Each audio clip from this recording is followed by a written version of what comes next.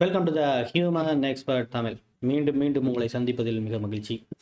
இன்றைக்கு வழக்கம் போல் ஒரு மிகப்பெரிய ஒரு விஷயத்தை பற்றி பேச போகிறோம் இது ரொம்ப சாதாரண விஷயமா மேலாட்டமாக பார்க்கும்போது உங்களுக்கு தோணலாம் but it's very serious matter ஏன்னா இதனுடைய சொல்யூஷன் என்ன அப்படிங்கிறது தெரியாதனால தான் இன்னும் நாம் வந்து இந்த மனசோர்வு அப்படிங்கிற ஒரு விஷயத்துக்குள்ளேயே நம்ம வந்து இருக்கிறோம். மனசோர்வு அப்படிங்கிற ஒரு விஷயமும் சரி மன அழுத்தம் அப்படிங்கிற விஷயங்களும் சரி இதெல்லாம் எதற்காக வருகிறது? இதை வந்து என்ன செஞ்சால் நம்மளை விட்டு போக முடியும் போக வைக்க முடியும்? அப்படிங்கிறது வந்து ரொம்ப முக்கியமான விஷயம். அதுக்கு நம்மளுடைய சிற்றறிவு கேட்டுற வரைக்கும் வந்து நம்ம என்ன செய்கிறோம்னா ட்ராவல் பண்ணுறோம் வெளியில் போகிறோம் சும்மா அப்படியே போய் சுற்றிட்டு வந்தோம்னா கொஞ்சம் ஆறுதலாக இருக்கும் அப்படிங்கிறதுக்காக நம்ம போகிறோம் இதெல்லாம் பண்ணுறோம் இல்லையா? ஒரு சில நேரத்தில் ஃபங்க்ஷன் நம்ம அட்டன் பண்ணுறோம் நம்மளை நம்ம எந்த அளவுக்கு ஓரளவுக்கு நம்ம ஓரளவுக்கு எப்படி நம்மளை வந்து ஒரு காற்றோட்டமாக ஒரு வெளிப்படையாக நம்ம வச்சுக்க முடியுமோ அந்த மாதிரியான விஷயங்களை நம்ம செஞ்சு வச்சுக்கிறோம். பட் உண்மையிலேயே அது சம்மந்தமாக அது வந்து நம்மளுடைய மன சோர்வை சரி செய்கிறதா அப்படின்னா அது ஒரு பெரிய கேள்வி தான் ஏன் அப்படின்னு சொன்னால் இன்றைக்கு யார் யாரெல்லாம் ரொம்ப கஷ்டப்பட்டு லோனுக்குனெல்லாம் வாங்கி அதை எடுத்து போட்டுக்கிட்டு ட்ரிப் இன்னைக்கு யாரெல்லாம் எல்லாம் போகிறாங்களோ அவரெல்லாம் போயிட்டு வரும்பொழுது அப்படியே ரொம்ப ஃப்ரெஷ்ஷாக வந்துட்டு அப்படியே பயங்கர ஆக்டிவாக வந்து அவங்களுடைய வேலைகளை செய்வாங்களா அப்படின்னா கண்டிப்பாக இல்லை அப்படின்னு தான் சொல்லணும். ஈவன் ரீசெண்ட் டைமில் நான் கூட அந்த மாதிரியான ஒரு விஷயத்தை எக்ஸசைஸை நான் ட்ரை பண்ணி பார்த்தேன். மோஸ்ட் ப்ராபப்ளி எனக்கும் அது வந்து நடக்கலை அப்படிங்கிறத தெரிஞ்சுக்கணும். ஸோ அப்போ இந்த மன சோர்வை நாம் எவ்வாறு சரி செய்வது அப்படிங்கிறது ரொம்ப ரொம்ப முக்கியமான விஷயம். நீங்கள் ஃபஸ்ட்டு தெரிஞ்சிக்க வேண்டிய ஒரு விஷயங்கிறது உங்களுக்கு ஃபார் எக்ஸாம்பிள் இப்போ உங்களுக்கு ஏதாவது ஒரு இப்போ ஒரு காலில் அடிபட்டிருக்கு. உங்களுக்கு ரொம்ப வந்து அந்த காலில் அடிபட்டனால உங்களுக்கு வந்து இப்போ பயங்கரமாக வந்து உங்களுக்கு ஒரு காய்ச்சல் வந்துருச்சு. அந்த அளவுக்கு ஒரு பெரிய அளவில் காலில் வந்து அடிபட்டிருக்குன்னு வச்சுக்கலாம் வச்சுக்கலாம். ஓகே ஸோ காலில் அடிபட்டிருக்கு அப்படிங்கிறதுக்காக நம்ம என்ன செய்ய முடியாது அப்படின்னு சொன்னால் நம்ம என்ன பண்ண முடியாது? நாம் போய் மெடிக்கலில் போய் எனக்கு தலைவலிக்கு மாத்திரை கொடுங்க அப்படின்னு சொல்லிட்டு தலைவலிக்கு மாத்திரை வாங்கி போட்டுட்டு ஸோ இது வந்து கால் வலியை சரியாக்கும் அப்படின்னு நம்ம நம்ப முடியாது. இதே போல தான் ஏதோ குருட்டாம்போக்கில் ஏதோ ஒரு விஷயத்தை செஞ்சுட்டு இது வந்து ஸ்ட்ரெஸ்ஸை வந்து நமக்கு போக்கும். மனசோர்வு போக்கும்னு நம்ம நம்பக்கூடாது இந்த மனசோர்வை எப்படி போக்கணும்னா அதற்கு மிக முக்கியமான விஷயம் இந்த மனசோர்வு எதனால் வந்ததுங்கிறத தெரிஞ்சுக்கணும். ரொம்ப டீப்பாக உங்களை பற்றியே நீங்கள் அனலைஸ் பண்ணி பார்க்கணும். இதுக்கு முன்னாடி நான் அப்படிலாம் இல்லை. இப்போ தான் நான் இப்படி இருக்கேன்னு சொன்னால் எத்தனை நாளைக்கு முன்னாடி வந்து நீங்கள் வந்து ரொம்ப நல்லபடியாக இருந்தீங்க? எத்தனை நாளைக்கு முன்னாடி வந்து இது முத முறையாக உங்களை வந்து அட்டாக் பண்ணுச்சு? அப்படிங்கிற ஒரு விஷயத்த முதல்ல அந்த காலத்தை நம்ம பார்க்கணும். ஒரு ஒரு மாதத்துக்கு முன்னாடி அந்த மாதிரி அட்டாக் பண்ணுச்சா? அல்லது ஒரு ரெண்டு மாதத்துக்கு முன்னாடி அட்டாக் பண்ணுச்சா? மூணு மாதத்துக்கு முன்னாடியா? ஸோ இதை வந்து நம்ம ரொம்ப கரெக்டாக நம்ம எக்ஸாக்டாக வந்து அந்த கால்குலேஷன் அந்த அந்த காலத்தை வந்து நம்ம கால்குலேட் பண்ணணும். ஸோ எந்த டயத்துலேருந்து இந்த மாதிரி ஆயிருக்கும்னு சொல்லிட்டு. சரி பார்த்துட்டோம். அப்போ அப்படி பார்க்கும் பொழுதே ஆட்டோமேட்டிக்காக தெரிஞ்சிடும் அந்த நேரத்தில் நமக்கு என்ன நடந்தது? எது சம்மந்தப்பட்ட ஒரு பிரச்சனையின் மூலமாக இந்த மாதிரியான ஒரு மனசோர்வுங்கிறது ஏற்பட்டுச்சுங்கிறது பார்க்கணும் ஃபார் எக்ஸாம்பிள் நாம் ஒரு செயல்பாடு செஞ்சுருப்போம். அந்த செயல்பாட்டு மூலமாக வந்து எனக்கு ஒரு பெரிய லாஸ் வந்திருக்கும். லாஸ் ஆனவனே எனக்கு மனசோர்வு வந்துருச்சுன்னா அப்போ இதற்கான காரணங்கிறது என்னுடைய மனசோர்வுக்கு காரணங்கிறது என்னுடைய செயல்பாட்டின் மூலமாக அந்த நஷ்டத்தின் மூலமாக வந்த குற்ற உணர்ச்சி. அப்போ என்னுடைய மனசு காரணங்கிறது இந்த குற்ற உணர்ச்சி தான் அப்படிங்கிறத தெரிஞ்சுக்கலாம். இல்லை நான் ரிலேஷன்ஷிப் பொறுத்த வரைக்கும் எனக்கு வந்து ஒரு பெரிய டாக்ஸிக்கான ரிலேஷன்ஷிப் அமைஞ்சிருச்சு. ஒரு ஒரு லவ்வரை ஒரு லவ்வர் அப்படிங்கிறவங்க வந்து இருந்தாங்க. அவன் வந்து என்ன பண்ணிட்டான்னா இந்த மாதிரி பண்ணிட்டான்.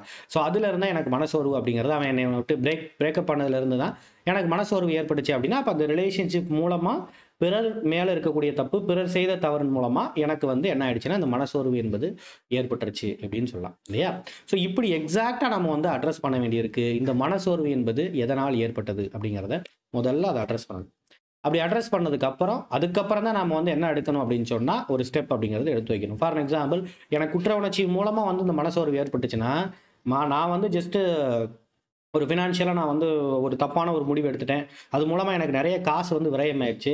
அதனால எனக்கு வந்து குற்ற உணர்ச்சி ஏற்பட்டுச்சு. அதனால மனசோர்வு ஏற்பட்டுச்சுன்னா இப்போ அதே மாதிரி நான் வந்து கடன் உடனே வாங்கி நிறைய காசை போய் எடுத்துக்கிட்டு நான் வந்து ட்ரிப் போகிறது ட்ரிப் போகிறது மூலமாக என்ன ஆகும்னா இந்த மனசோர்வு என்பது அதிகரிக்கும். ஏன்னா எந்த ஆக்டிவிட்டீஸ் மூலமாக உங்களுக்கு இந்த மனசோர்வு வந்துச்சுன்னா வந்துச்சோ அதே மாதிரியான ஆக்டிவிட்டீஸை நீங்கள் செய்கிறீங்க அப்படி செய்யும் பொழுது ஆட்டோமேட்டிக்காக என்ன ஆகும்? உங்களுடைய மனசோர்வு என்பது அதிகப்படும். அப்போ நம்ம என்ன செய்ய வேண்டியது இருக்கு? நம்ம அட்ரஸ் பண்ணோடனே நம்முடைய ப்ராப்ளத்தை அட்ரஸ் பண்ணோடனே இந்த மாதிரியான விஷயத்திற்கு எக்ஸாக்ட் ஆப்போசிட்டாக இருக்கக்கூடிய விஷயத்த நாம் செய்யணும். ஃபார் எக்ஸாம்பிள் காசு அதிகமாக விரயம் ஆயிடுச்சுங்கிறனால எனக்கு மனசோறு வந்துருச்சுன்னா அப்போ இதுக்கு எக்ஸாக்ட் ஆப்போசிட்டாக இருக்கக்கூடியது என்னது? சேவிங்ஸ் ஸோ சேவிங்ஸை நான் எப்படி பண்ணலாம்? ஃபார் எக்ஸாம்பிள் இன்சூரன்ஸ் பக்கமோ அந்த மாதிரியான விஷயங்கள்லாம் எப்படி பண்ணலாம்? ஒரு ஃபிக்ஸடு டெபாசிட் போட்டு மாதம் மாதம் வந்து ரெக்கரிங் டெபாசிட் மாதிரி மாதம் மாதம் ஒரு அமௌண்ட் போகிற மாதிரியான ஒரு பிளானை நம்ம போடலாம். அப்படி போடும்பொழுது என்ன ஆகும் அப்படின்னு சொன்னால் ஆட்டோமேட்டிக்காக வந்து எனக்கு பணம் சேருகிறது அப்படிங்கிற ஒரு விஷயத்தை வந்து என்னுடைய மனசு கொஞ்சம் கொஞ்சமாக கன்சியூம் பண்ண கன்சியூம் பண்ண அதை எக்ஸ்பீரியன்ஸ் பண்ண எக்ஸ்பீரியன்ஸ் பண்ண ஆட்டோமேட்டிக்காக அந்த மனசோர்விலிருந்து வெளிவருவதற்கான வாய்ப்பு என்பது இருக்கிறது. ஸோ இதான் ரொம்ப ரொம்ப முக்கியமான ஒரு விஷயம். ஸோ அந்த மாதிரி வந்து நாம் வந்து என்ன செய்யணும்? நம்மளுடைய மனசோர்வு ஏற்படுத்துறதுக்கு ஆப்போசிட்டான விஷயங்களை தொடர்ந்து நாம் வந்து செய்ய பார்க்கணும். அப்படி செய்ய பார்க்கறது மட்டும் இல்லாமல் அதோடு சேர்த்து நாம் என்ன செய்யணும்னா நம்மளுடைய ரொட்டீனை முதல்ல என்னென்ன பண்ணுறோம் அப்படிங்கிறத பார்க்கணும். முதல்ல நம்மளுடைய மனசோர்வு ஏற்பட்டிருக்கு. இப்போ நம்மளுடைய ரொட்டீன்ஸ்லாம் எப்படி இருக்குன்னா பயங்கரமாக நம்ம பாதிக்கப்பட்டிருக்கோம் இல்லையா? பொதுவாகவே நம்மளுடைய ரொட்டீன்ஸ் பொறுத்த வரைக்கும் மனசோர்வு இருந்தாலும் இல்லைனாலும் நான் காலையில் வந்து ஒரு எட்டு மணிக்கு தான் எந்திரிப்பேன். எட்டு மணிக்கு எந்திரிச்சு நம்ம சாடுக்கு பல்லகளை விளக்கிட்டு ஒரு ஒம்பது மணிக்கு நான் வேலைக்கு போவேன் அப்படின்னா இப்போ இந்த ரொட்டீனை என்ன பண்ணணும்னா கொஞ்சம் நம்ம மாற்றி பார்க்கணும். இந்த மனசோறு விலகிறதுக்காக கொஞ்சம் நம்ம மாற்றி பார்க்கலாம். ஃபார் எக்ஸாம்பிள் கா எப்பயுமே வந்து நான் வந்து லேட்டாக தூங்குவேன் லேட்டாக எந்திரிப்பேங்கிறத வந்து அப்படியே கொஞ்சம் மாற்றி வந்து நான் கொஞ்சம் ஒரு ஒம்பது மணிக்கு தூங்குவேன். காலையில் ஒரு நாலு மணிக்கு இல்லை ஒரு அஞ்சு மணிக்கு நான் எந்திரிப்பேன். அஞ்சு மணிக்கு எந்திரிச்சோன்னா நான் என்ன பண்ணுவேன்னா நான் வந்து எக்ஸசைஸ் பண்ணி என்னுடைய உடம்பு வந்து கொஞ்சம் வந்து நான் வந்து பராமரிப்பேன். ஏன்னா இந்த உடம்பு மூலமாக எனக்கு ஒரு பிரச்சனை வந்துச்சு அது மூலமாக எனக்கு மனசோர்வு ஏற்பட்டிருக்கிற பட்சத்தில் அந்த மாதிரியான ஒரு விஷயத்த நாம செஞ்சு பார்க்கலாம். அப்படி ஒரு ரேண்டமாக நம்ம அப்படி செய்யும் பொழுது ஆட்டோமேட்டிக்காக அந்த மாதிரி வந்து ஒரு புத்துணர்ச்சியை வந்து அது ஏற்படுத்துதாங்கிற ஒரு விஷயத்த நம்ம பார்க்க வேண்டியிருக்கு. இப்படி நம்மளுடைய ரொட்டீனில் இருக்கக்கூடிய அடுத்து நம்மளுடைய வேலைகளில் வேலைகளில் எந்தெந்த மாதிரியான சேஞ்சஸ் நம்ம கொண்டு வரலாம்? அப்படி சேஞ்ச் கொண்டு வந்து கொண்டு வந்து நம்மளுடைய மனசை வந்து பார்க்கணும். நான் ஒரு சேஞ்ச் கொண்டு வரேன் சேஞ்ச் கொண்டு வந்தேன்னா எனக்கு என்ன அது மனசோர்வுங்கிறது இன்னும் அதிகரிக்குது. ஏன்னா நிறைய வேலையை நான் இப்போ மல்டி டாஸ்கிங் பண்ணுறேங்கிற பேரில் நிறைய வேலை இன்னும் நான் எழுத்து போட்டேன்? அப்போ என்னுடைய மனசோர்வு அதிகரிக்குதுன்னா அப்போ அந்த வழியில் நம்ம போகக்கூடாது. அப்போ எல்லா வேலையும் கரெக்டாக டிஃபைன் பண்ணி செய்யக்கூடிய அந்த பிளான் போடும் பொழுது எனக்கு மனசோர்வு கம்மியாக இருக்கிறது போல் இருக்குது இப்போ கொஞ்சம் ஆறுதல் கிடைக்கிறது போல் இருக்குன்னு நினச்சிங்கன்னா அப்போ கண்டிப்பாக என்ன செய்யலாம்? அந்த ஒரு விஷயத்தை செய்யலாம். இப்படி ரொட்டீன்ஸ்லையும் கொஞ்சம் கொஞ்சமாக எந்தெந்த விஷயங்கள்லாம் சேஞ்ச் பண்ணால் நம்மளுடைய மனசோர்வுங்கிறது அதிகரிக்குது கம்மியாகுதுங்கிறத பார்த்து பார்த்து அதுக்கேற்றாற் போல் அந்த வேலைகளை நம்ம செய்யணும். இதை டெய்லி நம்ம ஒரு அப்போ ஓரளவுக்கு இந்த ஒரு ரெண்டு மூணு நாள் நம்ம செஞ்சிட்டோம்னா நம்ம ஓரளவுக்கு நம்ம அதில் ஃபிக்ஸ் ஆயிரும். ஃபிக்ஸ் ஆனதுக்கப்புறம் நம்ம என்ன செய்வோம்னா அதை நம்ம தொடர்ந்து நாம் செய்ய வேண்டியது இருக்குது அப்படி தொடர்ந்து செய்யும் போது இரண்டிலிருந்து மூன்று மாதத்திற்குள்ளாக உங்களுடைய மனசோர்விலிருந்து கம்ப்ளீட்டாக நீங்கள் வெளிவருவதற்கான வாய்ப்புகள் என்பது இருக்கிறது. இது ஒரு பக்கம். இன்னொரு முக்கியமான ஒரு விஷயம் அப்படிங்கிறது இதோட சேர்ந்து வருது. மனசோர்வு ஏற்படுத்துறதுக்கு மிக முக்கியமான காரணமாக போஸ்ட் ட்ரமாட்டிக் ஸ்ட்ரெஸ்ன்னு சொல்லப்படக்கூடிய அதாவது என்னுடைய கடங்கால கடந்த காலத்தில் நடந்த மிகப்பெரிய ஒரு பிரச்சனையின் மூலமாக வந்த மனசோர்வு. அது கிட்டத்தட்ட ஒரு ஆறு மாதம் நடந்தது. பட் இன்னுமே என்னுடைய மனசுக்குள்ள அது வந்து ஒரு வழியாக ஒரு ஆறாத ரணமாக இருக்குது.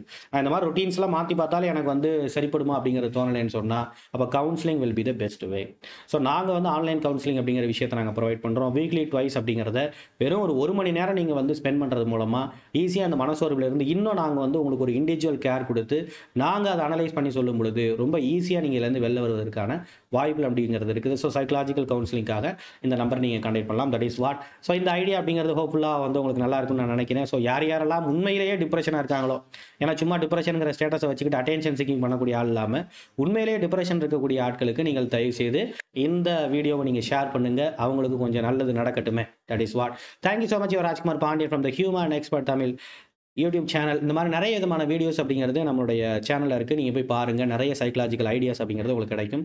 That is what bye